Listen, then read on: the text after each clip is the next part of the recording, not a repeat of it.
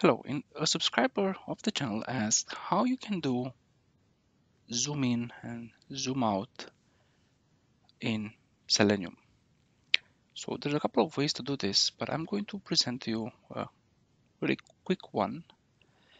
And it's in relation to a previous video where we had a look on how we can execute JavaScript on the browser.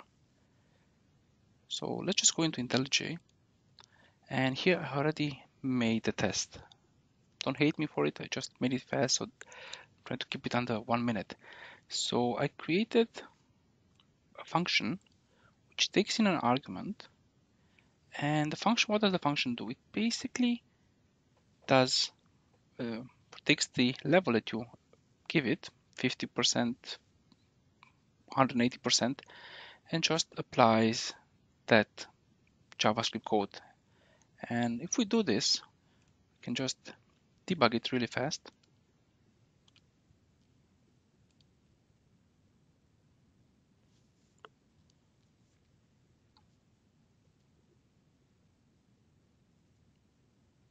So now we have it maximized and we stopped at the 50. Okay, and now if we, if we navigate to the next one, we have it like 50% perfect. And then to the next one, should be now at 180%. And there you have it, a quick way to perform zooming in your Selenium tests.